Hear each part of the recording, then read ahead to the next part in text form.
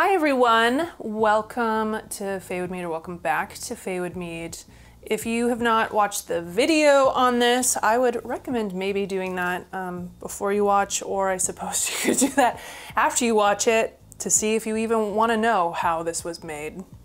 It's up to you. yeah, it's like, does that sound good to me? Oh, I don't know. I'm curious to know how this one is now. This mead is from the like Wellcome mead video that I did uh, from the book Wellcome Wellcome Meads um, from the British Library. And this mead was from what year was it? You know what? I don't even remember, and I didn't write it down. I think it's from like the 1600s or something like that, 1700s is around the time frame that those meads were made.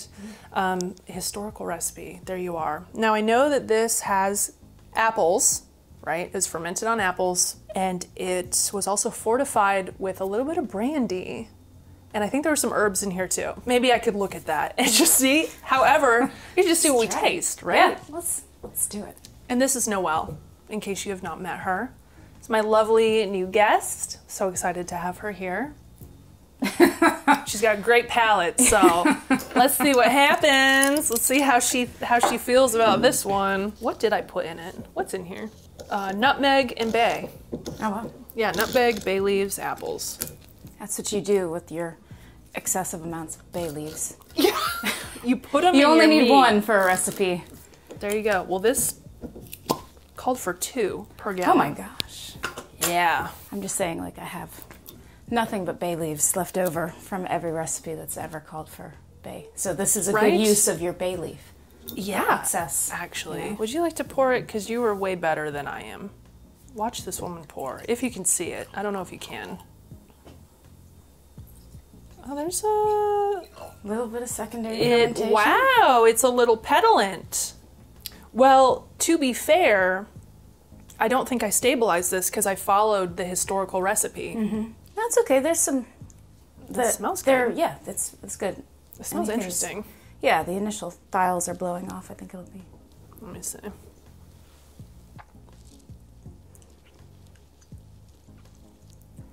Interesting. As unique. Yeah. Mm-hmm. The um. I feel like the bay does come through just a touch. Mm-hmm. Um, I definitely I get the brandy. Mm. Hmm. I get the brandy. Oh yeah, delicious. it's just so interesting how it re-fermented like that because it literally like there was almost no honey in there, well, uh, but it did its thing. It so what was the final gravity on this I guy when you bottled? think it was one point zero zero four.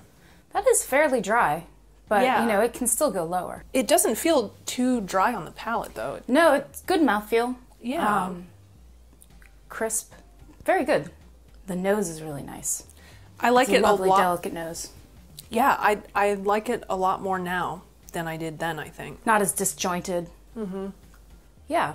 No, I think this is. Um, I think it's really good. It's really interesting. It's different. I wasn't quite sure what to expect. The brandy definitely, Yeah. definitely comes through. Yeah, and yeah, on the the retro nasal a little bit too. You know. Whew. Mm-hmm. It sticks. Mm-hmm. And this one was interesting because I pitched the yeast.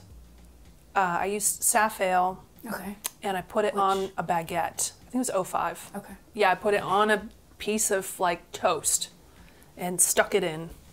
And in the boil, I also used egg whites Okay. because that's what it you know what they call for, I mean proteins, right? So yeah, that's actually. and a clarifying agent too. Oh right? yeah, for sure. F- finding agents later, um, or yeah, for sure. But also, I wonder. It's an interesting way of so the bread went in there, right? Um, and then egg whites.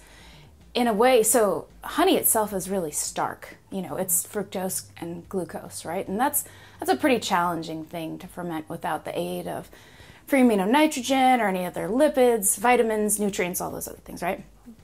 But in a way, by adding the carbohydrates, a little more complex carbohydrates with the bread, Yeah. and then adding some egg whites, a little protein, you can. I wonder if that's that was in a way kind of a a precursor to figuring out. So, like setting your yeast up for better health, Right. better fermentation. Mm-hmm. You know, they're basically you're kind of gil- giving them what like.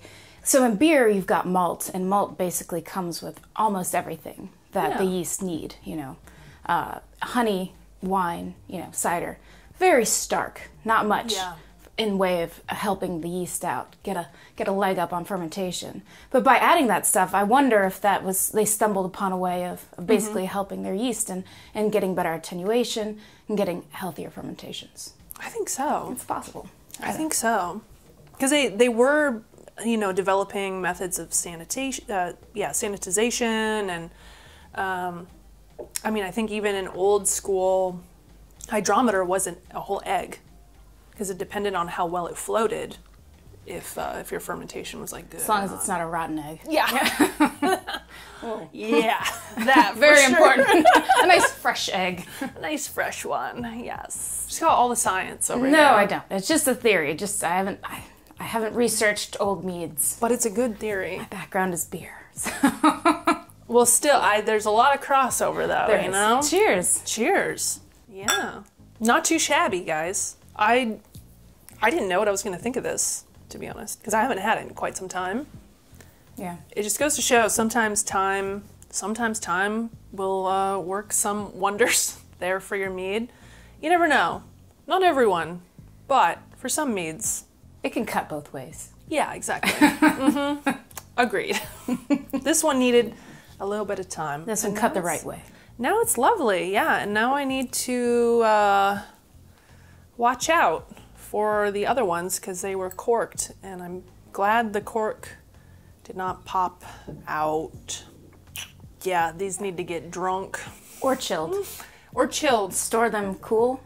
If you want to slow everything down, um, it's generally a good idea once, once you know initial fermentation is done and things are in bottle, and if it's not filtered or fined, or if there's any sugar source or any energy source left with any kind of yeast, if you can keep it as cool as possible, just to prevent bottle bombs, that's a good mm-hmm. idea. All right, well, verdict pretty good. Yeah, yummy.